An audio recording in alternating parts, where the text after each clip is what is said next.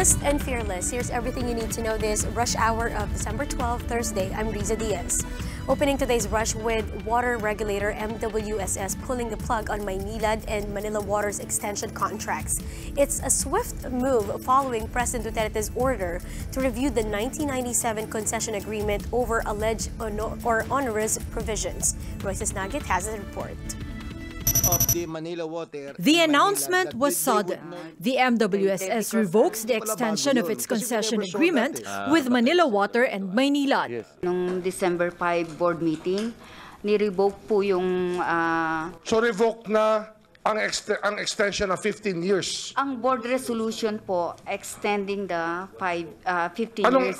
During a House hearing on good government and public accountability, MWSS Deputy Administrator Leonor Cleofa said the decision was reached last week, December 5. But it was only Wednesday morning that Maynilad and Manila Water were informed about the retraction. We believe also that it's not um, proper to unilaterally revoke an agreement. Mula pa po noong magkaroon ng original uh, extension noong 2009 ay uh, and base po doon sa let, doon nga po sa approval ay uh, ginawa na po namin yung uh, spending plan that uh, presumes na mababawi po ang lahat ng investment natin. Maynilad President and CEO Mon Fernandez expressed concern over the government's move. Definitely it will go very high because the rationale of the extension at that time was to mitigate any spikes in tariffs or presyo ng tubig because nga ho, kailangan pong mag-invest pa ng mga water concessioners ng mas malaki. The extension was signed in 2009, way ahead of the original agreement's expiration in 2022. It augmented the contract by 15 years to 2037. President Rodrigo Duterte had ordered Solicitor General Jose Calida and Finance Secretary Carlos Dominguez to draft a new contract favorable to the public and the government. Should the current contract be cancelled by 2022, the MWSS said new operators may come in. Kung mawawala yung concessionaires, kaya ba ng MWSS? Napakaliit ng aming empleyado, uh, mahigit isandaan lang po. At, uh, so hindi kaya? Sa ngayon po, kung existing resources, hindi po kaya. The two water firms are given three days to respond to the MWSS board decision. For News 5, Royce Nagit, we are One News. Water concessionaires fired back on claims against them, saying they were handed a finalized copy of the contract during the bidding itself. And then MWSS chief says consultants composed of foreign and local law firms and even the World Bank were brought into the drafting of the deal. Mon Los Baños has the details. Private consultants crafted the concession accord between the state and water concessionaires back in 1996. This was the admission of former MWSS Administrator Dr. Angel Lazaro III when quizzed in a Senate inquiry. To his recollection, the agreement was created after the Water Crisis Act was passed into law in 1995 under President Fidel V. Ramos. In fact, sa buong mundo, medyo bagong-bago yan. Kaya hindi kaya kumuha kami ng consultants. Tapos oh, inapprove yan ng Board of Trustees.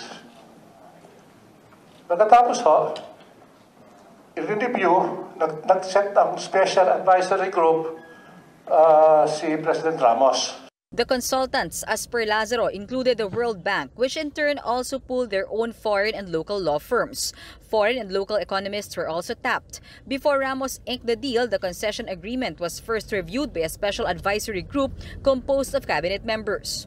Lazaro said bidders were consulted before it was finalized, but he admitted the contract had no working draft when it was presented to the concessionaires. The water firms pointed out the government had a lone hand in crafting the accord, which was only given to them during bidding in 1997. Take it or leave it. Kung, sa, kung okay sa inyo itong kontrata na to, di mag-bid kayo. Kung ayaw nyo, di wala. Apat po ang, ang, ang nag-bid. Ang una pong nanalo, ang original na Maynila, that's the Lopez Group, at ang Ayala won the East Zone. To this, Senator Coco Pimentel asked how can the onerous provisions in the contract proposed by the concessionaires be traced? Ito sinabi ninyo na there's a government agency hired consultants, presumably for millions of pesos or dollars. Tapos ang procedure na ginawa ng consultant na hired by the government is to just open everything, all of you interested, tell me, tell us your ideas. Pwede kaming mamili dyan, pwedeng hindi. Ganun, ganun ang basically. Wala kayong ah, working draft sana o para matrack natin saan ang ideas na nanggaling sa naging concessionaire. Hindi naman ito 100% na gobyerno. Meron din hong contribution yung mga, yung mga bidders dito. Pero hindi yun na natin ma- ma-identify yun kasi sa bandang huli yun, isang dokumento na lang.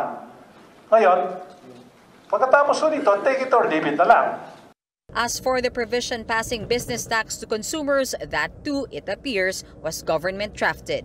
maybe at that time, the reason is to make it more um, appealing to investors to come to the table because it's such a big investment and a big risk. Kaya, tinapon nila yung incentive na, o pati yung corporate income tax, uh, pwedeng ma-excuse. Maybe to attract investors. At that time, remember, uh, the country isn't in an economic situation as we are now. Now, the big question come, uh, um, the big question is, why did we continue to give them the same incentives In the next hearing, the Senate will invite the consultants who crafted the alleged onerous concession agreement. Reporting for News 5, Mon Los Baños, we are One News. Possible setbacks may be expected after government's move to cut the concessionaire's extension contracts. According to a report by Pangmasa, Maynilad and Manila Water warned that charges could increase by as much as 100%. The concessionaires, which now have until 2022 to operate, say previous extensions were made to their agreement to provide a longer period for payment over new water treatment facilities they installed. With now a shorter time frame, consumers may be forced to pay more.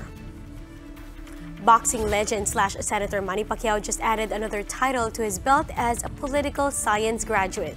Pacquiao finished a degree uh, uh, in majoring in local government administration at the University of Makati on Wednesday. Now, the fighting senator has said before that he believes those wanting to run as senator or as president of the country should have at least finished college.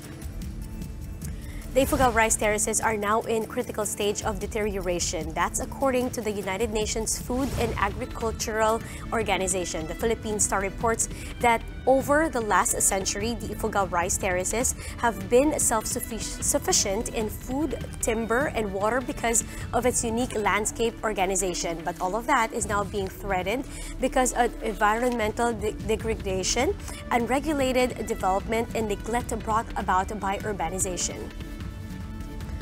Tourism in the Philippines has steadily increased in the past few years, but to give it a bigger boost, Secretary Berna Romulo Puyat says more major destinations should undergo rehabilitation just like Boracay.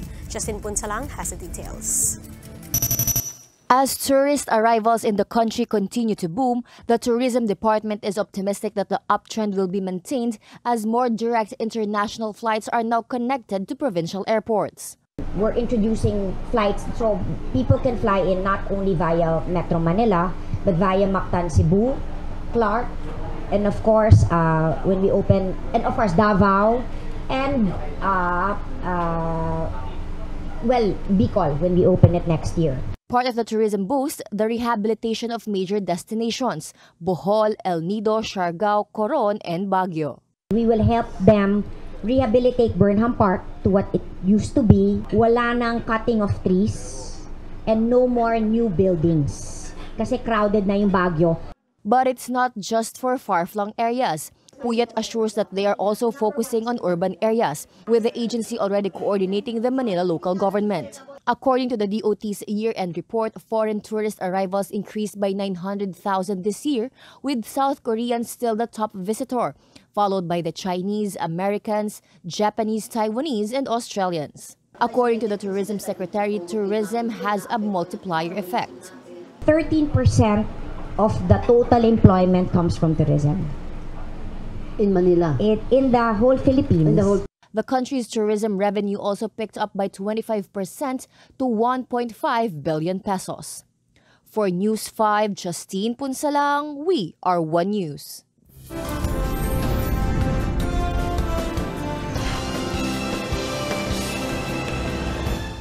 The Philippines was hailed as the overall champion for the 30th Southeast Asian Games, but PHISGOC chairman Alan Peter Cayetano promises that the reign of the Philippine athletes have only just begun. Marlene Alcaide with the story. The 30th Southeast Asian Games closed out with a bang on Wednesday evening at the new Clark City Athletic Stadium in Tarlac. Arnel Pineda kicked things off by singing the national anthem.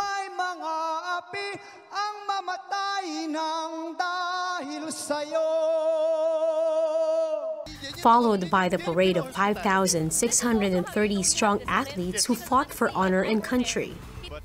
The Philippines was hailed the overall champion of the 30th Southeast Asian Games after clinching 387 medals, including 149 gold. Meanwhile, PHISGOC chairman Alan Peter Cayetano boasted the success of the Philippines in hosting this year's SEA Games. We Filipinos have shown the world that we can do it. Kaya natin. At hindi lang natin kaya, we will do it with world-class quality. Breaking many records, biggest SEA Games ever, with 56 sports and 530 events. We are also the most viewed SEA Games in SEA Games history. Amazing athletes, amazing coaches, amazing how the Filipinos welcomed our guests. But he also took the opportunity to respond to his critics and those who did not believe that our country could do a good job of organizing the biennial event. For those of you who said this could not be done, for those of you who said this stadium will not be built on time, For those of you who said, sayang ang pera, dapat hindi tayo nag-host. Sa lahat ng nagkalat ng fake news, ang masasabi ko sa inyo, at ito ay taga nyo sa bato, peace be with you. Cayetano also announced that he is planning to focus on and further strengthen Philippine sports. We celebrate the vision of President Rodrigo Roa Duterte to give all Filipinos a safe and comfortable life. Sir President, through sports, mailalayo natin lahat ng kabataan sa droga. We close these games today, but let me tell all the coaches, trainers, parents, athletes, we have only just begun. We will build here in New Clark City a national high school for sports that will give full scholarships to our athletes. We will upgrade and create inclusive, well-funded grassroots sports program and support DepEd and the Philippine Sports Commission. We will prepare and support Para Games 2020. We will prepare and we have added 100 million pesos on top of the PAGCOR funds for our Olympians that will fight in the Tokyo Olympics.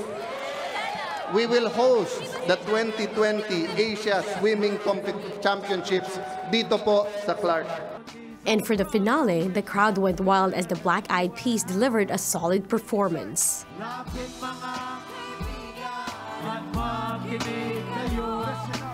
The group even introduced their newest member and sang their hottest single. That's the delight of foreign athletes who could not believe that they got to watch the Black Eyed Peas live. I enjoy the concert. Yeah, Philippines have uh, invited superstar. Yeah, I really like it. Some athletes also thanked the Philippines for their hospitality during the games. Powered by Smart. And that's how the day is shaping up to be. Join us again next time for another round of Rush. I'm Riza Diaz. We are One News.